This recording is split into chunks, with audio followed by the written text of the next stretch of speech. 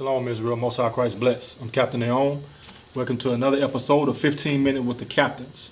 To my left, Shalom, Israel. Most High Christ. Bless Officer Elijah. all praises. And today's topic, we're going to be touching on God's holidays. All right, God's holidays, because we know today that our people are not keeping God's holidays. All right, we're keeping the world's holidays Christmas, Thanksgiving, Easter, so on and so forth, right? But we, we're going to prove today that everybody say they love and follow Christ. What did Christ keep? All right, He kept the laws that were given to us by our forefathers. All right, so let's go to Matthew 15 and verse 7. We're going to start off and show you that you have been learning man's traditions, not God's, not things that's been passed down from your forefathers, your customs, but man's customs. Read that. This is the book of Matthew, chapter 15, and verse 7. Mm-hmm. Ye hypocrites, well did Esaias prophesy of you, saying, This people draweth nigh unto me with their mouth, and honoreth me with their lips, but their heart is far from me. You see what they're saying? Christ is telling you, he, he quoting the prophet Isaiah. Isaiah 29 and 13. That's what he quote.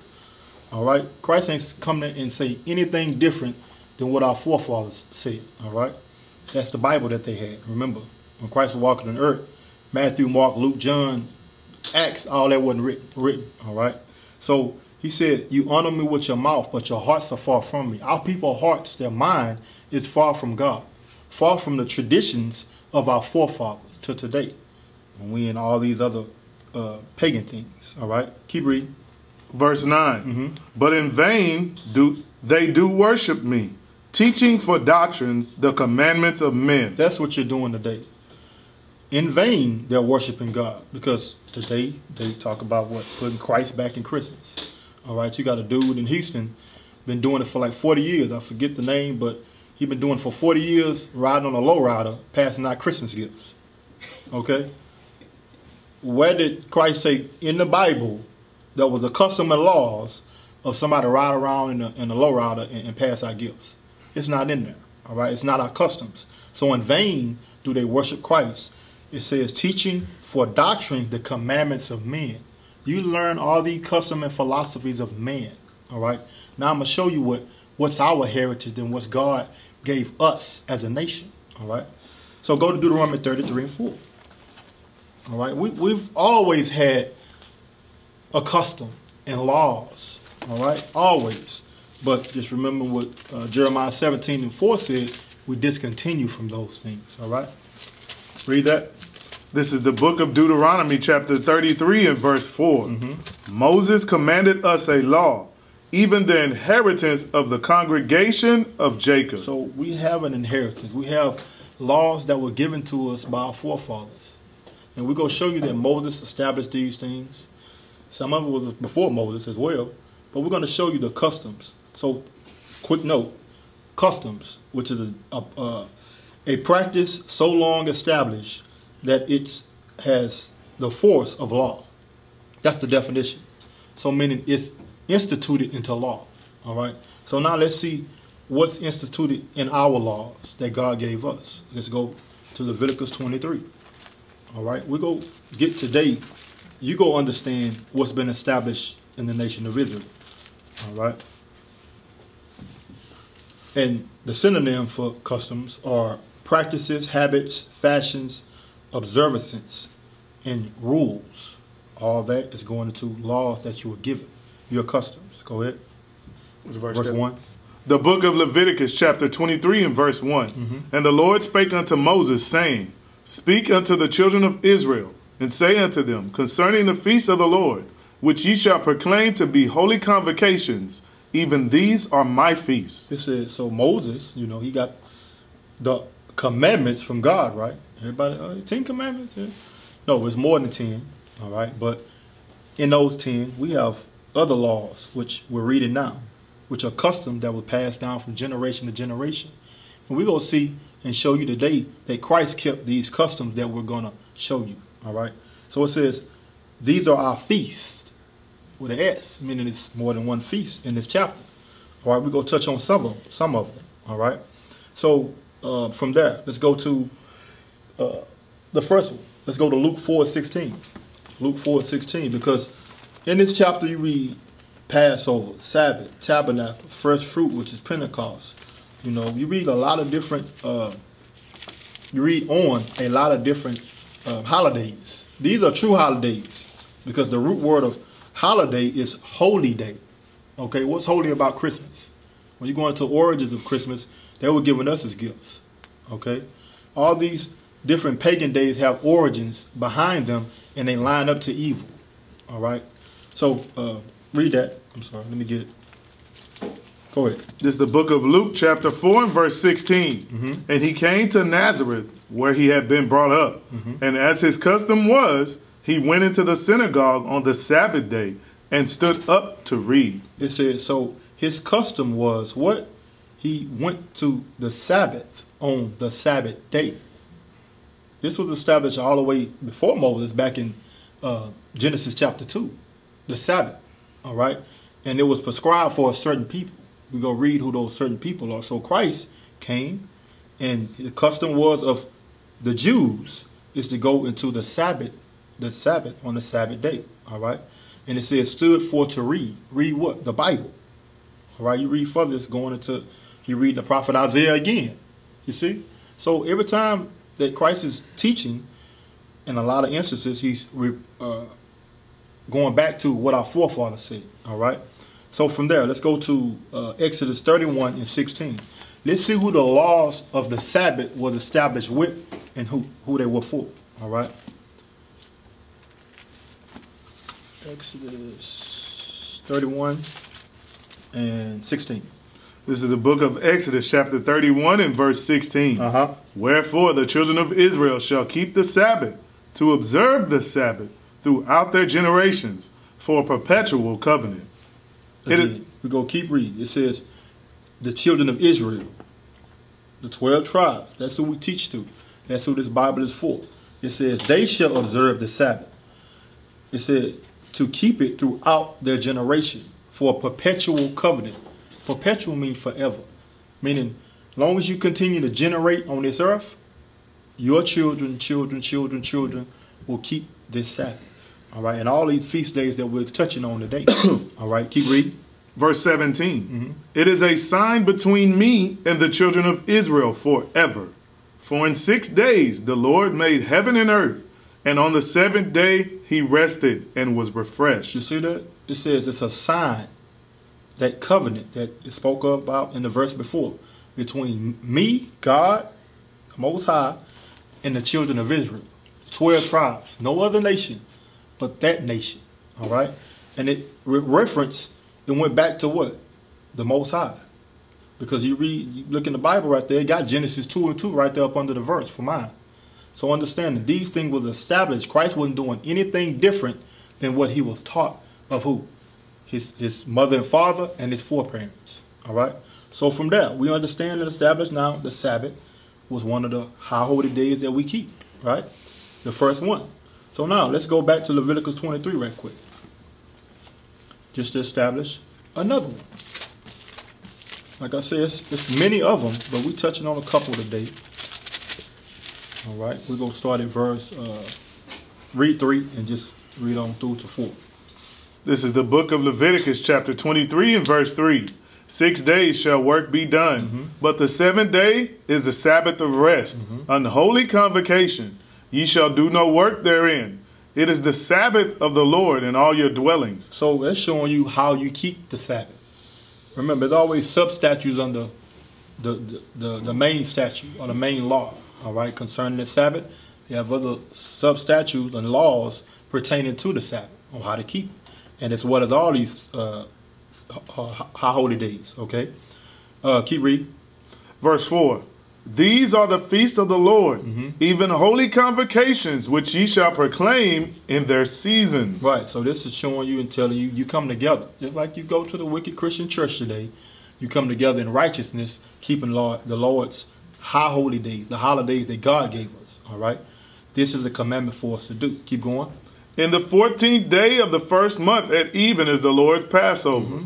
And on the fifteenth day of the same month is the feast of unleavened bread unto So the it- Lord. It's giving you times and dates of when the next feast will come. All right, go ahead. Seven days ye must eat unleavened bread. Mm-hmm. In the first day ye shall have an holy convocation. Ye shall do no servile work therein. Right, so it's telling you on these Sabbath days, there's no work period. All right, so when we keep the high holy days, the holidays that God gave us, we don't work. All right, so from there,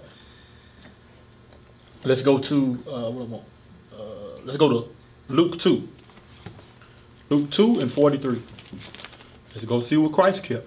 All right, remember, I'm, I'm pointing out a lot of things dealing with Christ because everybody want to talk about Christ. That's why I said they, they say they honor me with his mouth, but their heart is far from him. All right, in vain do they worship me. All right. So yeah, let's get that Luke two and what I want? forty-two. This is the book of Luke, chapter 2 and verse 41. Mm-hmm. Now his parents went to Jerusalem every year at the feast of the Passover. So Christ's parents, mother and father, that's another doctrine, but mother and father, all right, went to the Passover, which we just read in Leviticus 23. So this was before Christ. His parents, that mean they've been keeping that law since they were grew up. You understand? Now they training a child in the same manners and customs and laws that they've been in. That's concerning their people. All right? Keep going. And when he was 12 years old, Mm-hmm. they went up to Jerusalem after the custom of the feast. When he was 12, they went up to Jerusalem to what? Partake in the custom of the feast. Which you can read that in, Deut- in, in Deuteronomy 16 16. All right, those three times a year, we would go meet up in Jerusalem. All right, to keep the Most High's commandments. All right, so let's go to Exodus 12 and 14. Let's see when this law was established. Everything has an origin. All right, and the origins you've been keeping in this society today is not of God. All right, read that. This is the book of Exodus, chapter 12 and verse 14. Uh-huh. And this day, and this day shall be unto you for a memorial, and ye shall keep it a feast to the Lord throughout your generations. Ye shall keep it a feast by an ordinance forever. Seven days shall ye eat unleavened bread. Even the first day ye shall put away leaven out of your houses. For whosoever eateth leavened bread from the first day until the seventh day, that soul shall be cut off from Israel. So it's showing you how we keep the Passover. As I said, all these, all our customs and holidays, our holy days, they have other laws pertaining with them. All right, that's attached to them. All right, so we eat unleavened bread on that day, on that within those days. All right, keep going. Verse 16 And in the first day there shall be an holy convocation, and in the seventh day there shall be an holy convocation to you. So the first day and the last day is going to be a holy convocation. We coming together as a body, all right?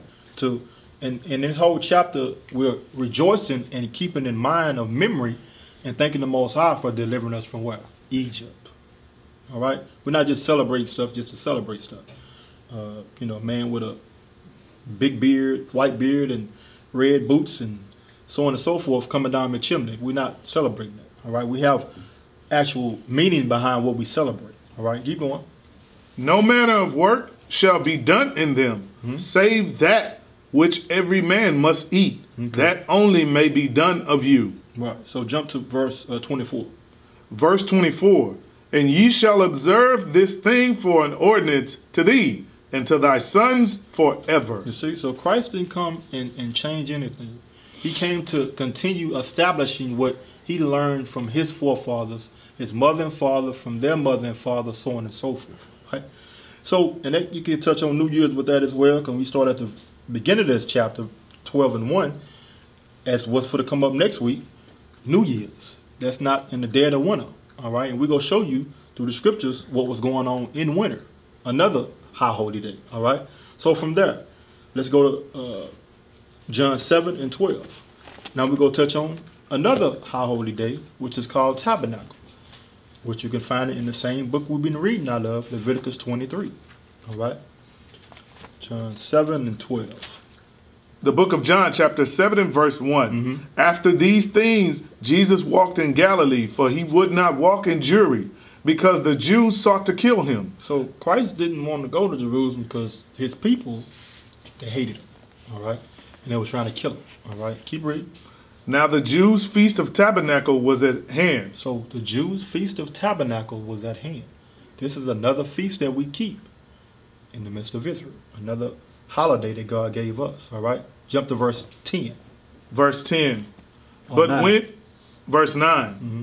When he had said these words unto them, he abode still in Galilee. Mm-hmm. But when his brethren were gone up, then went he also up unto the feast, not openly, but as it were in secret. Right. So he still went up, even though they were trying to kill him to keep the feast, but he did it in secret because as we you read through the Bible, we know that he was hated of his own people, and they are the ones that persecuted him. All right. So from there, let's go to Deuteronomy 16 and 13. Again, let's establish, go back before Christ and see when this law was established. Christ continued to keep what his fathers kept, his customs, his heritage. All right. Deuteronomy 16 and verse 13. This is the book of Deuteronomy, chapter 16 and verse 13. Mm-hmm. Thou shalt observe the feast of tabernacles mm-hmm. seven days.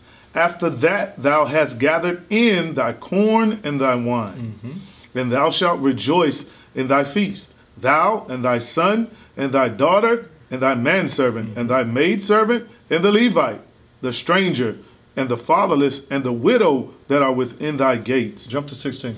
Verse 16 mm-hmm. Three times in a year shall all thy males appear before the Lord thy God in the place which he shall choose. So these are commandments that God gave us that we must come and meet and keep the feast that He gave us. Go ahead. In the feast of unleavened bread, Mm-hmm. Passover, and in the feast of weeks, uh, Pentecost, first fruits. and in the feast of tabernacles.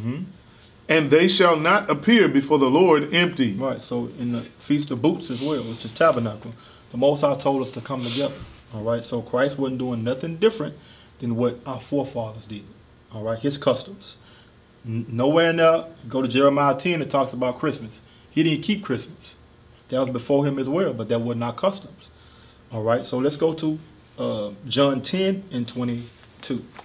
John 10 and 22. Let's get one more feast that Christ kept, showing you that we had customs and laws set up before the captivity. He, Christ was in captivity, the Roman captivity.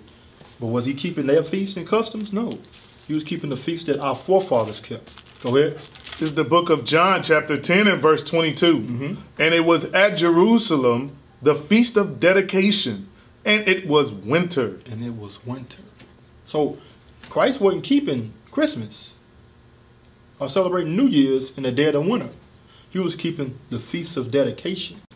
And we'll get the origins of the, uh, the feast of dedication from our forefathers. Keep reading. Verse 23. And Jesus walked in the temple in Solomon's porch. Right. All these things was established before Christ, but he kept it because this is a feast that the Most High told us to keep. For what? Being able to get the temple dedi- rededicated to him. Let's see that. Let's go to uh, First Maccabees 4 and 55 through 59. Judas Maccabees, and this wasn't the only first time that this happened, but the Most High established it through him to make it uh, uh, a holiday. All right? 54 to 59. Yes, sir. 55 through 59. 55. This is the book of First Maccabees, chapter 4 and verse 55. Then all the people fell upon their faces, worshiping and praising God, the God of heaven, who had given them good success. He gave them good success because he allowed them to be able to overthrow the the, uh, the Gentiles of Idumean, so-called white man, to restore the temple, to put it back in their hand, so they can take all the defiled things out and and honor it back and dedicate it back to the Most High. Keep going. And so they kept the dedication of the altar eight days, mm-hmm. and offered burnt offerings with gladness, and sacrificed the sacrifice of deliverance and praise. Deliverance and praise. Deliverance of the heathen. Praise to the Most High for letting them overcome them and have great success. And as you see as well, talk about sacrifice stuff, we don't do that anymore. All right. Christ was that ultimate sacrifice. All right. Keep going. They decked also the forefront of the temple with crowns of mm-hmm. gold, and with shields, and the gates and the chambers they renewed, and hanged doors upon them. Mm-hmm. Thus was there very great gladness upon, among the people, for that the reproach of the heathen was put away. You see, the, the reproach of the heathen was put away. They ain't uh, happy and glad over stockings and, and candy corns and all this other stuff that our people get excited about today. All right, they were rejoicing over the victory that the Most High allowed them to get. All right, go ahead. Verse 59 Mm-hmm. Moreover, Judas and his brethren, with the whole congregation of Israel, ordained that the days of dedication of the altar should be kept in their season from year to year by the space of eight days, Mm-hmm. from the five and twentieth day of the month Casleu, Mm-hmm. with mirth and gladness. You see that? So it gave a date and time again on when we keep this. And it talked about the season, which we read in Leviticus 23. All right? So I pray that y'all get something from this and you understand that we are not keeping God, I mean, uh, man's holidays, so called holidays, but we need to reestablish God holidays and high holy days within ourselves. All right? And I understand that you're Israelite according to the Bible. All right? So with that, we say shalom, Most High in Christ bless. Shalom, Israel. We used to scream black power while heroin was pushed. But at the end of the day, nothing's in vain. IUIC has been given a vision. The tents of Judah has risen. Many has attempted the mission, minor murmuring, omitting, and missing the mark. Just reading that he had the flame of fire in his eyes gave us the spark. We on Paul's mission. We out on the road, purple and gold. From Mexico, Cuba, Haiti, Ghana, Sierra Leone. 144,000 boots banging, concrete crackling. These are how men repented at heart. The scriptures is proof. IUIC, we deliver the truth.